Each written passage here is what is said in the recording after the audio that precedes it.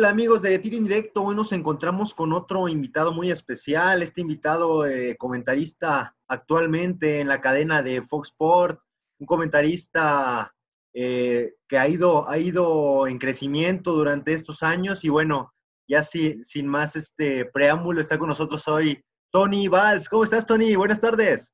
Hola Jair, ¿cómo estás? Buenas tardes, saludos a ti y a todos los amigos que te siguen. Muchas gracias, Tony. Este, pues bueno, contentos de tenerte acá con nosotros. Eh, un ratito de, ahí descubrir tu, trayectoria. Y bueno, iniciando este, esta entrevista, Tony, ¿de dónde inicia ese amor por los medios de, la, de comunicación?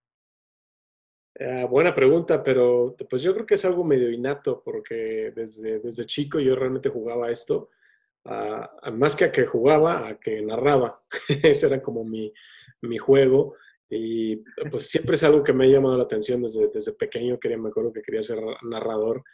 Eh, como todo, pues me encanta el fútbol y me encanta todavía hasta la fecha jugarlo, pero creo que pues, nunca fui tan bueno ni tuve esa vocación al menos, ¿no? De, de, jugar, así que siempre estuve pensando más en esto y apenas se abrió una chance a los 16 años, pues eh, empecé a, a darle a este asunto y pues mira, afortunadamente ya, ya son 18 años, ¿no? En los medios de comunicación.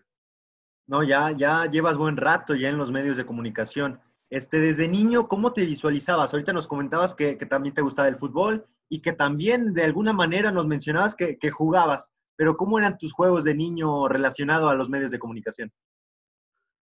Eh, pues me acuerdo que me, me ponía a jugar con mis canicas y con monitos y que construía mis porterías ahí con carajitas de zapatos y todo ese rollo, ¿no? Y ahí iba llevando yo mi, según eso, mis torneos, hacía mis estadísticas en mis cuadernos, dibujaba y todo el rollo. Era, pues era una locura que en ese momento no entendía, simplemente como buen niño me divertía, jugaba, aparte pues mucho tiempo estuve eh, solo porque mis, mis hermanos llegaron hasta que yo ya tenía siete años, entonces digamos que la primera parte de mi infancia pues fui fui jugando así, by myself, y pues ahí, eh, ahí fue que, empecé con ese tipo de, rollos, ¿no? Mi mamá dice cuando, cuando, íbamos a misa y todo, pues me gustaba como imitar un poco lo que oía, contando cuánta gente había, que yo le veía cara de, portería al altar y pues todo ese rollo, ¿no? O sea, siempre, siempre estuve como muy, muy en la mente eso de, del fútbol y de describir todas las situaciones que pasan alrededor. Ok. ¿Siempre te gustó este, el fútbol o desde niño practicabas o veías otro deporte? Ah, bueno, siempre. Mi gran pasión siempre ha sido el fútbol. Ahora, sí soy muy de, deporte, porque realmente pues, yo practiqué natación hasta un, par de tiempo, un par de meses por ahí estuve en básquetbol, en el CODE, eh, y pues siempre he sido como muy observador de, todos los, los, juegos, ¿no? Ya conforme avancé, al principio de mi carrera recuerdo que me tocó cubrir los Juegos Panamericanos, no, la competencia como tal, sino desde que se le dio la sede a Guadalajara todos los años previos. Y pues me aventé un montón de torneos desde badminton hasta, por supuesto, fútbol, eh, pasando por voleibol, voleibol de playa y pues todo, todos los deportes panamericanos. Y ahí me clavé bastante más. Aparte, pues tengo familia que, que ha hecho diferentes tipos de deporte, entonces pues ahí me, me, me, daban como su feeling, ¿no? Realmente, pero sí, o sea, es fútbol, punto y aparte, y luego ya vienen los demás deportes que me gustan mucho, pero sí, pues, la comparación de mi pasión no, no, no va, pues ahí es demasiado grande por el fútbol. Ok, antes de, de ahorita que mencionabas un, un, tema muy importante, los Juegos Panamericanos y eventos que ha sido y demás, que más adelante los iremos mencionando, este, ¿Cuál fue tu primer, este, como quien dice, tu primer empleo, tu primer trabajo ya como en los medios de comunicación? Eh, ¿Qué te tocó hacer en los primeros inicios? Lo primero que hice fue contestar teléfonos en un, programa, de, en un programa de radio en el que me invitaron. Eh, no eran ni prácticas ni nada de eso. Ya después eh, tuve un, como una, interiorización en un programa de radio que hacía a través de una cadena religiosa, así era. Y posteriormente, ya estando en la carrera, entro a, a una estación de fútbol que se llamaba 1480 y en Guadalajara, eh, que dirigía don Octavio Hernández, que en paz descanse, que es el, primero que me da, digamos, una chance real. Entro como practicante y pues ahí me pusieron de asistente del editor de audio. Después ya me quedé como editor de audio ya estando como editor de audio, pues empecé a hacer otras cosas, empecé a producir, empecé a meterme a, la parte técnica de las transmisiones, pues iba básicamente a moverle a la perilla de los micrófonos, ¿no? De, de cuando iba a hablar a alguien y cuando no, pero ya empezaba a ir al estadio, a ser parte de las transmisiones y eso fue lo que, pues esos fueron como mis primeros oficios dentro de esto, ¿no? Yo creo que no me arrepiento de nada, al contrario, me da gusto haber empezado desde abajo porque pues así entiendes un poco más todo lo que hay detrás de un, de un micrófono, de una cámara. Ok, ¿y recuerdas cuando iniciabas e, en ese tiempo, qué partidos o qué, o cuál fue tu primer partido que te tocó ir ya trabajando en esa radio? Si mal no recuerdo, fue un Atlas Atlante. Ok. Eh, y, y, pues así, vamos, hacíamos los del Atlas y los de Tecos en ese momento. No, no teníamos los derechos de transmitir a Chivas, pero íbamos a esos dos estadios y cada semana teníamos un juego, así que era, pues era bastante divertido. Aparte hacíamos programas como de, pues la estación era meramente de fútbol, así que ese era nuestro evento principal.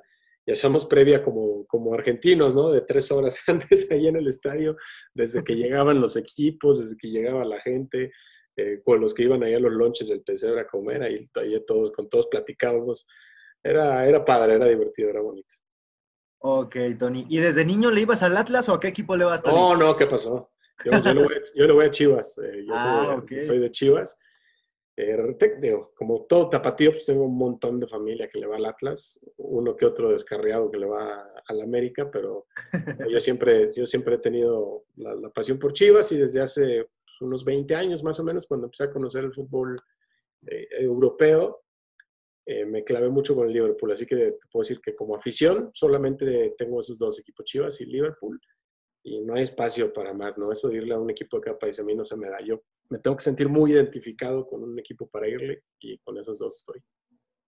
Ok, ahorita que mencionaste el tema de, de Chivas y que, que, le ibas, o que le vas más bien, no le ibas, le vas, este, Ahora que, resultó este nueva polémica de los dos jugadores de, Chivas, eh, Alexis Vega y Euriel Antuna, a ti, tú como, como aficionado, dejemos este, lo de medios de comunicación, como aficionado, ¿qué representa o qué, te genera al ver estas nuevas noticias? Pues mira, la verdad es difícil separarlo porque eh, como aficionado a lo mejor a veces no tienes tanta información y ahora pues ya estando de este lado tienes eh, mucho más conocimiento de lo que pasó. Yo la verdad no me meto nunca en la vida privada de los jugadores, eh, puedes revisar incluso mi timeline y difícilmente me ves criticando a alguien por hacer algo de ese tipo. Creo que eh, pues cada quien sabe, ¿no? Lo que hace. Sí creo que la afición se puede sentir un poco defraudada porque pues a veces el aficionado voltea y ve lo privilegiado que es un futbolista y dice, caray, o sea, yo me esfuerzo por pagar un boleto, por ver los partidos, ahora que Chivas está en un canal restringido, pues por pagar a lo mejor ese upgrade del paquete de cable o, hacer lo posible por tener el canal o ir con un amigo que sí lo tenga para poder verlo. O sea, la, afición siempre se esfuerza por ver a su equipo y por seguir a su equipo. Y el jugador, pues, la verdad es que es privilegiado porque tiene sueldos eh, totalmente desproporcionados a lo que es la realidad del, país, que no es su culpa porque la industria lo genera y no los culpo de eso, pero la gente lo percibe así, como que ellos lo tienen todo y no lo valoran, no valoran, ya deja tú el equipo, la profesión y todo, como probablemente sí lo haría alguien que, no tuvo esa oportunidad, ¿no? Eso es lo que, lo que yo creo que a veces no, no consideran mucho los jugadores, tienen que pensar en el sentir del aficionado, en cómo los ven y por qué los ven así. Yo sé que a ellos les ha costado muchísimo llegar a donde están y yo a los futbolistas no solo los respeto, sino los admiro a todos por el simple hecho de llegar, porque sé lo difícil que es. Pero tienen que entender pues lo que representan, ¿no? Y, el privilegio que tienen como para no arriesgarlo en algo así, porque al final pues ya vimos los tweets de los dos, ¿no? Arrepentidos, diciendo vamos a aprovechar esta oportunidad. Quiere decir que ellos mismos saben que la regaron feo, así que pues ni hablar. Lo mejor de este asunto para ellos es que tienen la chance de que, si juegan muy bien, en dos o tres semanas esto se puede olvidar. Bueno, bien como, como lo, tú lo mencionas, este, pues les dieron esa segunda oportunidad y bueno, esperemos que, lo aprovechen y, lo que dices es muy cierto, o sea, son, son gente privilegiada que no, no cualquiera tiene la oportunidad de, jugar en primera división y después en una institución como Chivas, que, son muy pocos los que llegan a ese equipo. Este, Tony, ¿cómo después de, ya nos mencionaste que estuviste ya en tus primeros inicios ahí en la radio, primero contestabas algunas llamadas y después fuiste avanzando ahí, ahí en la radio en Guadalajara. después, ¿cómo llega este tema de televisión específicamente en la cadena de Fox Sports? A través de un casting, eh, yo trabajaba en ese entonces en, tres medios en Guadalajara, en el Canal 58, que es una estación de radio, en el diario Esto y el Occidental, que son hermanos, yo era el corresponsal de, de Guadalajara, los equipos tapatíos, y en el Canal 8, que me parece que ahora se llama Quiero TV, también hay en Guadalajara, un canal de tele local. Y un amigo pues me invitó a hacer el casting, era, él era reportero de Fox. Me dijo, oye, van a venir los de Fox Deportes, que es el canal de Fox en español en Estados Unidos, para pues, hacer un casting. Eh, te invito pues, al tal día y todo, si quieres ir. Órale, pues. Pues sí fui, sí fui, fue mucha gente. Hice el casting y, y unos meses después pues ya me, me llamaron, ¿no? Siempre cuento la historia de ahora en pandemia, porque me acuerdo que eso, eso fue cuando estaba el H1N1 empezando. Ok, hace 10 años aproximadamente. Sí, exacto. Eh, y yo estaba, este, estaba enfermo, no sabía de qué, pero el día del casting pues me sentía de la patada, ¿no? Entonces fui, estaba tan mal, yo creo que me veía tan mal que mis compañeros, ¿sabes cuenta que yo tenía 30 por ahí para pasar? Y me dejaron pasar antes, mucho antes, en lugar 10, 12, porque me veían muy mal y decían, no, pues ya para que te vayas, maestro, ¿no? Entonces pasé, hice el casting, eh, incluso me ofrecieron agua porque estaba todo así, todo así, todo así. Hice el casting, me fui a mi casa y en ese momento pues me sentí tan, tan mal que pues tuve que hablarle a un amigo doctor. Me dijo, enciérrate, fue a revisarme y no volví a salir de mi casa en dos semanas porque me pusieron en, en cuarentena, me detectaron el H1N1 y hasta pues me hablaba el gobierno todos los días porque apenas estaban probando el famoso Tamiflu, el medicamento, para saber si, si, me estaba sirviendo o, si ya me había muerto o algo así. Pero fue mi última salida antes de, de, esa cuarentena y pues qué bueno que la alcancé a hacer, mira, por algo pasan las cosas, ¿no? Ya varios meses después me hablaron y pues empezó la historia en Fox Sports hace nueve años y contando. Ok, ¿y, y qué te preguntaban en ese casting que hiciste? ¿Cómo, cómo era el esquema? Eh, primero, pues me pusieron a, a, hacer como un noticiero, ¿no? Presentar algunas noticias, narrar algunos highlights, que son los, los resúmenes de los partidos. Y después, pues yo supongo que, que, lo habré hecho bien, porque no a todos les hacían esto, pero a mí sí eh, me siguieron grabando y me hicieron como un examen de, de todos los deportes, ¿no? Okay. Me preguntaban cosas de uno y otro, y pues ya yo ahí raqueteé como pude. Eh, pues yo creo que no lo hice tan mal, porque al final de, de las tres ciudades que fueron, Guadalajara, los Monterrey y Los Ángeles, creo. E hicieron el casting, pues no sé cuánta gente habrá ido, pero pues nos quedamos dos hombres y yo fui uno de ellos, así que supongo que pues, no la cajeteé tanto. ok. No, pues este, por algo, por algo quedaste ahí, Tony, como dices, ya van este, nueve años y un poquito más ya en esa, en esa cadena de, de Fox Sport. Después de, de, estos nueve años, ¿qué, qué aprendizajes te, te, ha dado a ti como persona, eh, primeramente, y después, eh, ¿qué es lo que disfrutas más en este trabajo y en específicamente en esta cadena en Fox Sport? Lo que más disfruto son los partidos, de eso no hay duda. Pero me encanta, por ejemplo, hacer el noticiero o un programa como Fox Gold donde, donde podemos eh, explotar el análisis un poco más a fondo de lo que es el fútbol como juego. Hay otros programas que son de polémica, de, de gritos y sombrerazos y todo eso. Y, y, bueno, está bien, es un estilo y es un tipo de show. Pero en ese show específicamente, pues es, es eso, me gusta mucho. El noticiero, pues como te digo que me gustan todos los deportes, me agrada poder hacerlo porque eso me obliga a mantenerme informado pues del NFL, del básquetbol, del automovilismo, de todo, del béisbol, de todo lo que está ocurriendo, ¿no? Hay deportes donde eres más fuerte que en otros, eso está claro pero el simple hecho, pues ya de mantenerte ocupado en eso, eh, hace como que todos los días te alimentes. Pero los partidos, pues son los partidos, ¿no? Siempre he dicho, o sea, todos los shows son como el entrenamiento y las transmisiones son los partidos, tal cual, ¿no? Ahí es donde vas, juegas y, o sea, es maravilloso. Lo que más me gusta es narrar, pero disfruto casi al igual la cancha y el análisis, que es lo último que me han puesto a hacer. Me he tratado de especializar también en eso porque pues si ya te pusieron una chamba hay que hacerla lo mejor posible, ¿no? Así que he estado estudiando, haciendo cosas, cursos, pero yo diría que eso es lo, lo que más disfruto. Y sobre los aprendizajes, pues, pues, solo que tengas tres horas, porque he aprendido un poco de todo, ¿no? Yo llegué de 25 años, ahora tengo 34, y pues ni qué decir, ¿no? Yo creo que soy una persona muy distinta de, de aquel entonces a, a, hoy, y muy buena parte, pues es gracias a, a que tuve que salir de mi ciudad, a que tuve que venir, a que trabajas en una cadena internacional, a que hay una altísima competencia, a que la gente te está madreando todo el tiempo y todas esas cosas pues te van, te van forjando, además de que estás en el ojo de, pues, de, de los especialistas, o sea, la gente de fútbol pues siempre ve las transmisiones y está ahí el pendiente y todo. Entonces, la única forma de ganarte el prestigio pues es trabajando duro y siendo, pues siendo lo mejor, lo más honesto que se pueda, pero también lo más capaz que se pueda, ¿no? Claro, y eso que comentas ahorita es muy importante.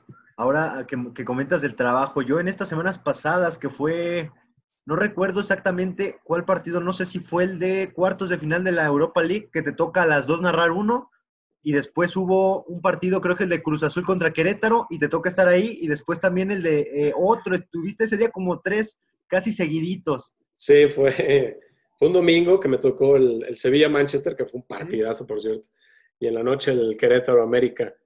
Sí, sí. Sí, sí, pues días moviditos, pero pues ahorita que estamos en casa se puede hacer eso. Así que sí. lo aprovechamos.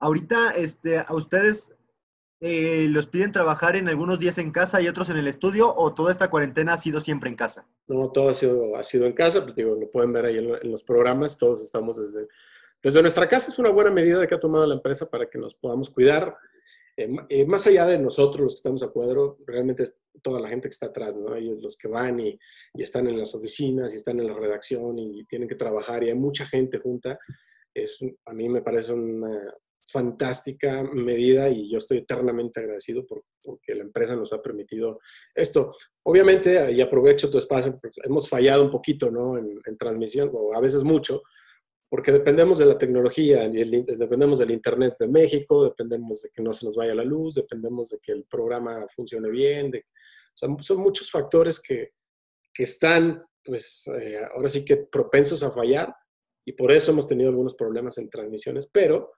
si todo eso vale para que hayamos salvado una vida, ya sea de, de uno de los integrantes de Fox o de un familiar, pues yo creo que vale la pena, ¿no?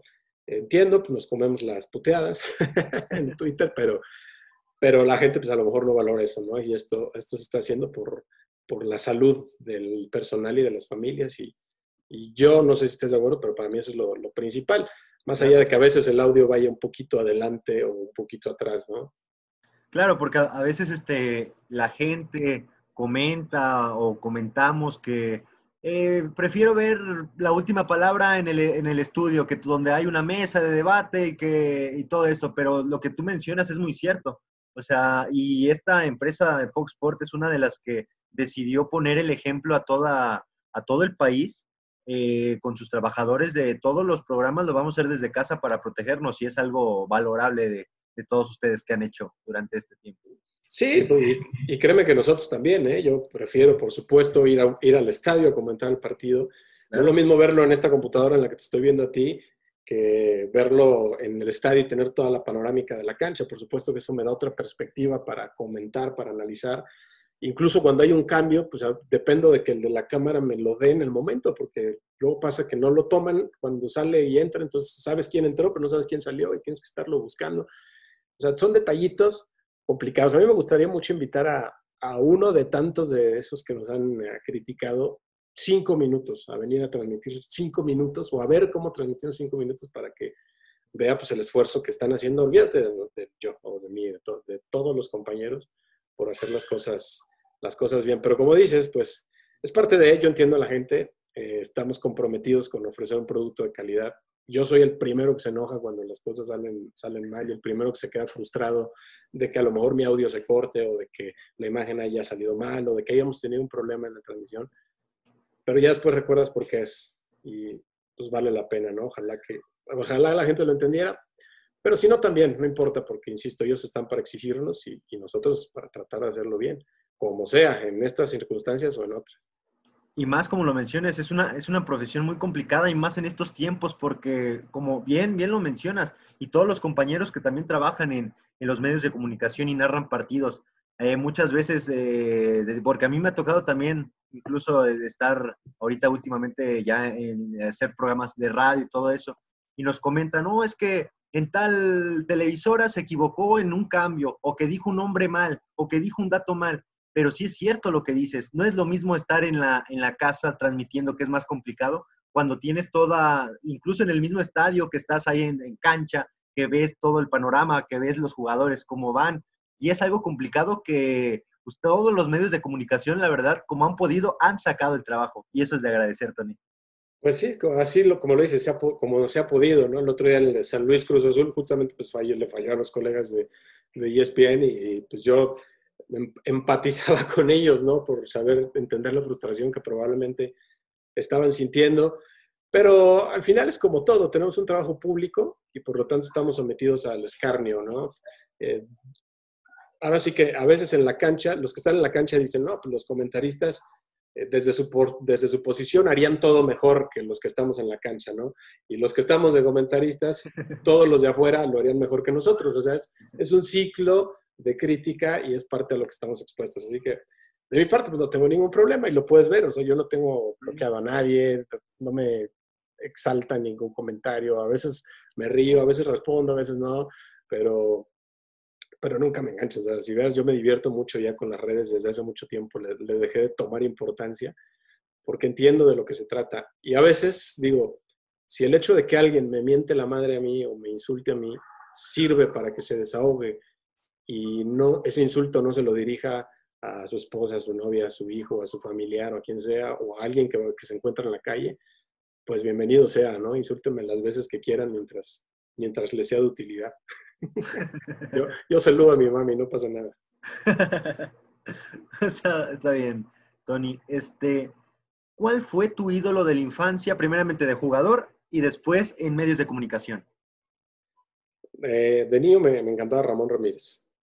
¿No? Eh, lo que jugaba y todo. El, hecho de que dijo, no me quiero ir a la América, pero me obligan, pues también me, ganó. Y todavía, que no jugó muy mal en el América, entonces fue mejor todavía después Steven Gerrard, el top, el top, top, top, top, por lo que es la lealtad y por, por los valores, ¿no? Más allá de que jugaba muy chingón, más bien es por eso, por los valores y por lo que, lo que representa y la identidad que tiene con, con, un club que es parte de lo que yo valoro.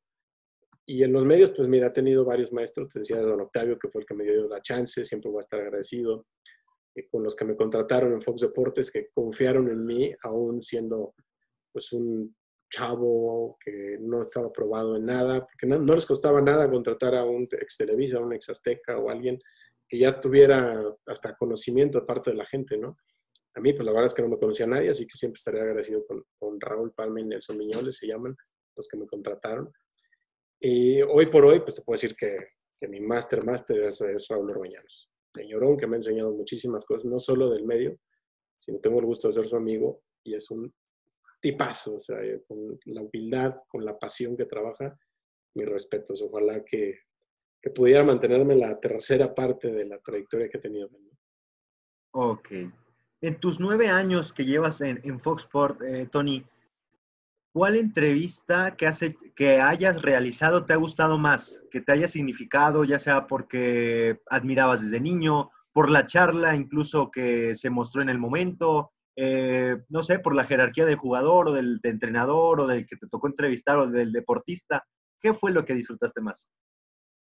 Pues mira, yo te hablaría, por ejemplo, en general de coberturas, ¿no? Me gustó la de la Confederaciones, donde pude ver un entrenamiento de Alemania, y aunque en ese entonces decían que era la Alemania B, que después le metió cuatro a México con todo y B, eh, te das cuenta de que es otro mundo, eso eh, parece otro juego, ¿no? Otro deporte, lo que practican por cómo tienen todo perfectamente organizado. Y por todo me refiero a todo. Desde las entrevistas, desde si te dicen vas a entrar a tal hora, entras a tal hora, desde cómo hay, hay orden pues en, todo, ves a los futbolistas todos perfectamente uniformados y listos para un entrenamiento. O sea, fue una experiencia muy padre poder En ese entonces platiqué con Ter Stegen, me acuerdo. Okay. Y de entrada pues era sorprendente el excelente español que, que hablaba, ¿no? Yo sé que pues, él está en España y todo, pero, pero muchos no lo aprenden tan bien como él lo hizo. Un tipo que te das cuenta del nivel de cultura que tiene. Eh, esa misma confederación es no en micrófonos, porque esa entrevista la hizo Rubén, pero mientras esperaba, mientras acomodan toda la entrevista, platiqué con, con Osorio y y pues es un, técnico muy interesante en sus conceptos. Yo sé que tiene muchos detractores. Yo no soy ni su admirador ni su detractor, pero se te nutre platicar con, con gente así. Después te hablaría de una cobertura en la Copa Oro, que fue maravillosa porque fui pues prácticamente por todo Estados Unidos. No nomás cubría México, cubría todas las, las jornadas de los partidos. Entonces un día estaba en Washington, otro día en Houston, otro día en Nueva York y así. Y pues era, fue bastante padre. Y mi lo que más me ha gustado pues, ha sido la Copa Libertadores del 2015, donde pude ir a Uruguay, pude ir a Brasil, pude ir a Argentina y vivir una final en el Monumental, pues es, es otro boleto, realmente te das cuenta de lo que es la pasión por el fútbol. También estar en el, en el Centenario de Uruguay, es un estadio mítico, que desde niño pues tú lees los relatos de lo que ha pasado ahí y poder pisar esa cancha pues es, ha sido asombroso, ¿no? En términos de narración, en los Juegos Olímpicos de, de Río, haber narrado a Michael Phelps, a Usain Bolt, los partidos de fútbol por las medallas, eh, eventos de atletismo muy importantes, de todo pues un poquito. Realmente pues, fue fascinante porque nunca, la verdad nunca pensaba siquiera que lo iba a hacer y tuvimos suerte de, tener los derechos y que yo pudiera estar ahí, ¿no? Ok. ¿Qué sensación pasó por tu mente, Tony, específicamente en esos Juegos Olímpicos del 2016 en Río, cuando llevabas eh, prácticamente iniciando en, en, Fox Sport, llevabas algunos años.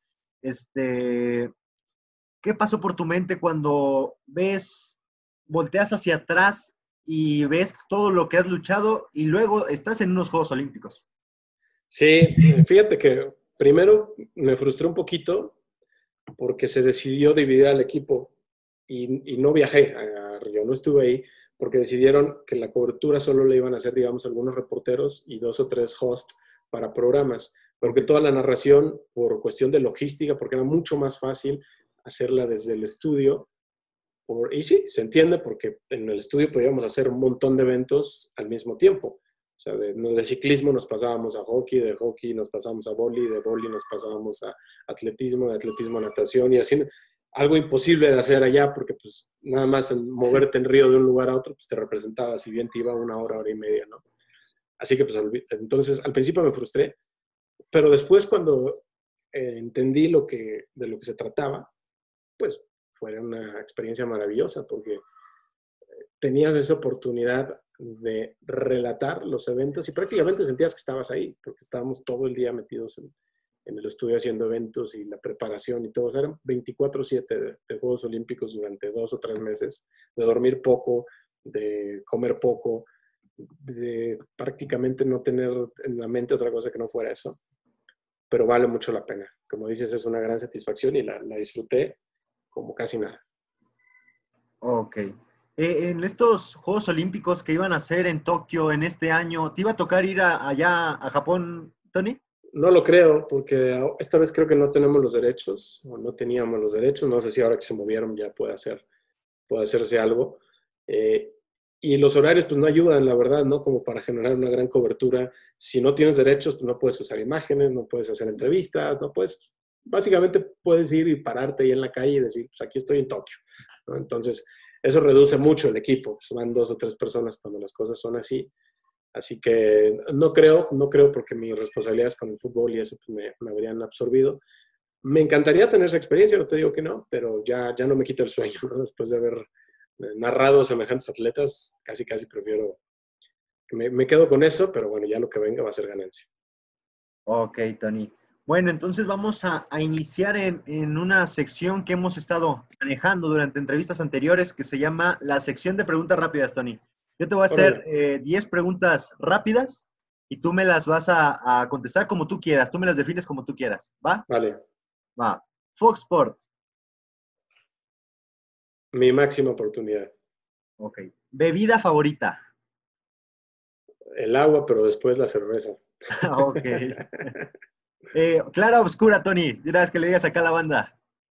Clara, clara. Ok.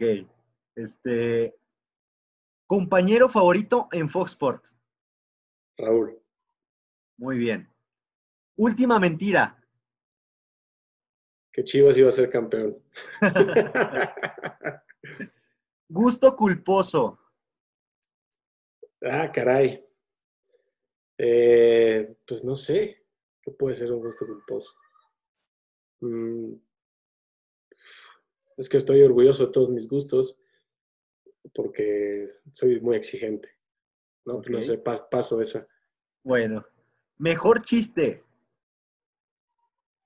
¿Que me sepa? Sí, claro, que lo compartes acá, los micrófonos de tiro en directo, acá toda la banda que, sepa que también Tony Valls sabe contar buenos chistes. Soy gracioso, mas no, no tengo un almanaque de chistes, ¿eh? así que te, lo voy a, te lo voy a deber. Ok. Este, comida favorita. La birria tatemada. Ok. Jugador del Chivas que odies, que, nunca, que digas, nunca quise que este jugador llegara a este equipo. Ah, pues no, así de odiar no odio a ninguno, pero a ver, pues probablemente algún examericanista, ¿no? Que haya ido a dar ahí, que o todos los que hayan pasado por ahí, salvo Osvaldo Sánchez, que después se ganó, se ganó el cariño. Ok. Estadio favorito. Eh, el de Chivas, fíjate. El Acron. Sí, bueno, Anfield, pero, o sea, México, si hablamos de México, pues es, ese, el Akron. Y ya conozco todos, ¿eh? Y si me gusta más que el de Monterrey incluso. Ok. Y la última, canción favorita. Y en esa misma pregunta, ¿bailas o cantas? Más o menos las dos, bueno, me esfuerzo en las dos. Ok. Y eh, seguramente puede ser Wonderwall de Oasis, aunque no es mi grupo favorito, mi grupo favorito son los Beatles. Ok, y un paso que, ahí muevas allá cuando estás allá en tu casa y que no vas que siempre le hago así. Gracias. Este, continuamos con, con esta este, entrevista. Tony, ¿cuál, fue el primer partido que te tocó narrar ya en, en la cadena en Fox Sports? La verdad no me acuerdo. No, no lo sé. o sea, pasó, pasó mucho tiempo. Sí me acuerdo que me... Bueno, puede ser alguno de, del torneo del Clausura 2012, yo creo. Porque en ese entonces eh, Fox Deportes, solo para Estados Unidos. ¿eh? Que el primer año trabajé solo para Estados Unidos. Por eso a lo mejor mucha gente no, no, no ubica esos momentos, porque no salía al aire aquí en México. Pero para Londres 2012 eh, se va el que narraba los juegos de la Liga MX junto al ruso. Él se fue a, Londres a, cubrir los juegos. Entonces dicen, bueno, pues ¿quién entra? Me dicen, Tony, pues te lo avientas, va, te lo avientas. Y entré y empecé a narrar. Eh, bueno, pues les gustó tanto que me quedé ya con el puesto fijo, ¿no? Como narrador éramos la pareja, el ruso y tu servidor. Y narrábamos y nos iba muy bien. De hecho, le ganábamos en, televisión, televisión restringida, le ganábamos a la televisión abierta en los partidos que compartíamos por desgracia, pues un año después se acabaron los, los derechos y pues ya, ahí este, ya quedé fuera de, de, esa parte. Luego vino la fusión de Fox Sports con Fox Deportes y empezamos como a hacer otras cosas en equipo, ¿no? Digamos, para las dos regiones. Ok. Tony, ¿cuál es el, el mejor momento que te ha pasado en tu vida? Tener a mi hijo. Ok. ¿Cuántos años tiene tu hijo, Tony? Ocho. Ocho, ya muy, muy bien. Un abrazo también para, para tu hijo. Este, ¿cuánto, qué fue lo que significó para ti después este, estar con estas grandes figuras, ya voces autorizadas también en, en medios de comunicación, como un Raúl Arbañanos, como un Rosso Brailovsky, como un André Marín? ¿Qué significó para ti, Tony? Aprendizaje, aprendizaje, una gran motivación, saber que había podido llegar hasta, pues hasta ahí, con gente que solo veía en la tele y que ni siquiera imaginaba que iba a ser su compañero. Pero después los vas conociendo y te das cuenta de, de que, pues al final de cuentas todos somos parte de esto, ¿no? Unos con más trayectoria, otros con menos, pero, pero pues, sobre todo de, personas como Raúl, pues aprendes la pasión, el amor por el juego, el, deseo de siempre servir a la gente. Eh, él, por ejemplo, es un tipo muy humilde, entonces no le niega una foto a nadie, un autógrafo a nadie, ni unas palabras, y ayuda a mucha gente, así que haber entendido eso, ¿no? Que no importa qué tan alto llegues, porque yo creo que él está en la cúspide de, este asunto, pues no puedes perder los pies del piso ni la humildad, ¿no? Así que si él es así, pues yo que no, no tengo absolutamente ni, ninguna comparación en cuanto a fama, prestigio y crecimiento en el medio y trayectoria, pues mucho menos, ¿no? Así que por eso es, es parte de lo que trato de seguir, pero todo lo demás pues es alegría motivación. Ok, Tony. En todos tus, tus viajes que ya nos este, contabas hace unos instantes entre eh, Copas Libertadores que te tocó ir, eh, Copas Oro, y en todos los viajes que has realizado para la cadena de Fox Sport, ¿cuál es la anécdota más vergonzosa que te haya pasado en, en aquellos viajes? La que recuerdas más. Pues fue famosa la de Rusia, ¿no? Cuando eh, transmitíamos en Kazán en una, en una calle que es como peatonal en el centro. Pero había la curiosidad de que en esa misma calle, pues era, era como la zona de antros y bares. Pues en realidad era la zona de vida, porque tampoco era una ciudad muy chiquita, o es una ciudad muy chiquita. Y por el cruce de horarios, cuando nosotros entrábamos a Central Fox y la última palabra, allá eran las 6 y 7 de la mañana. Y los bares cerraban a las 6 de la mañana. Entonces, o los antros.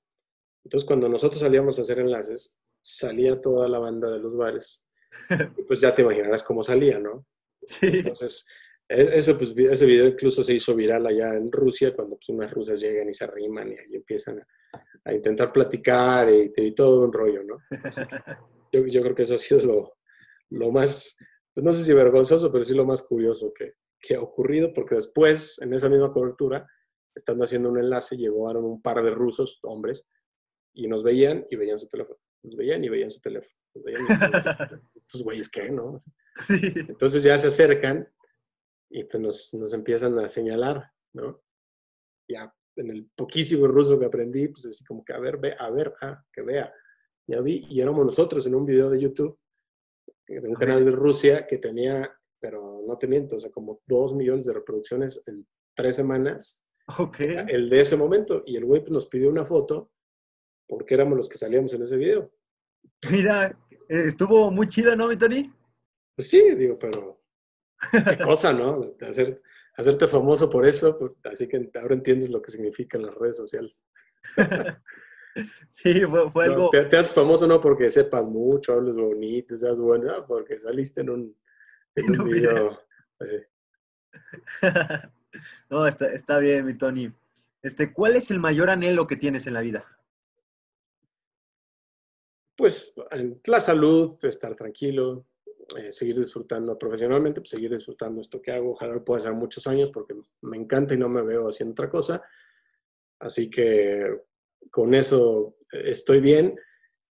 Esto da muchas vueltas, hay veces que vas a hacer los mejores partidos, hay veces que no vas a hacer ninguno, o que vas a hacer los, los peores, o los que tú quieras, ¿no? Pero yo la verdad disfruto los del ascenso, los de femenil, los de la Liga MX, los de la Champions, todos los que me toca hacer los disfruto igual.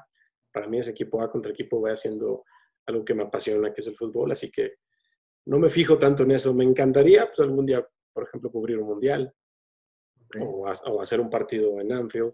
Eso sería como algo, una mezcla de, de sueño profesional, aficionado pero mientras me dedique a esto y pueda vivir de lo que me apasiona, pues yo estoy perfectamente bien.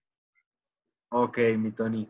Este, ¿Sabes cuántas ocasiones te ha tocado venir a hacer coberturas acá San Luis? Una, nada más. Ok, ¿en qué año fue, mi Tony? Habrá sido, pues cuando recién empezó el proyecto de Atlético. Ok. Que habrá sido hace que como unos tres años, ¿no? Más o menos. Sí por ahí, pero fue una, una vueltita rápida y ya. Sí, tengo pendiente ir un poco más para San Luis. No, claro, cuando, cuando quieras acá, acá tienes tu casa, mi Tony. Nada más, ese, ese día que, que viniste para acá, ¿fuiste a Lastras o fue otra cosa? Fue otra cosa, fue nada más una entrevista y ya. Ah, ok. Súper bien, mi Tony. Este, bueno, pues... ni, tiempo dio de, de ir a Lastras, ni de las enchiladas. sí, acá es este, las enchiladas y las tunas, acá es lo, de nosotros, que, se caracteriza mucho por, por los potosinos.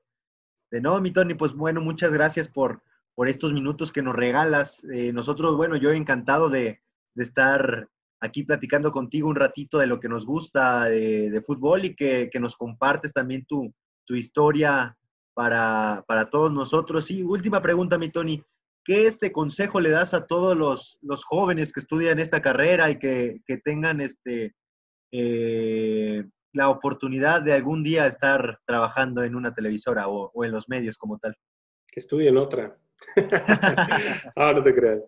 Mira, siempre, eh, cada que me hacen esa pregunta les digo lo mismo y es estar preparados. No sabes cuándo te llega la chance, como fue en mi caso. y si no estás preparado, pues probablemente se te vaya, ¿no? Creo que siempre cuando trabajas duro y cuando estás en algo que te apasiona, tarde o temprano te llega al menos una oportunidad, pero tienes que estar listo para poder tomarla o para al menos hacerlo bien, ¿no? Lo que depende de ti.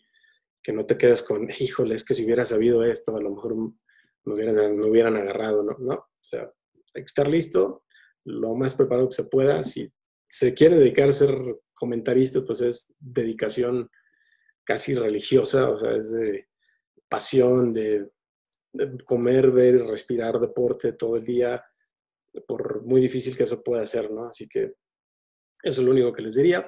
Si te apasiona, pero pues realmente no te pesa. El problema es cuando lo único que te gusta pues, es salir en la tele o hacer otro tipo de cosas, ¿no?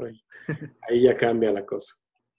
Ok, mi Tony. No, pues muchas gracias, muchas gracias por, por, te lo vuelvo a repetir, por estos minutos que, nos dejas este, ahí interrogarte un poquito de, tu vida, de tu trayectoria. Y bueno, pues encantado de, que le des a, todos los que nos escuchan una, una gran, este, un gran consejo que, sigan ahí en, su camino. Gracias, mi Tony.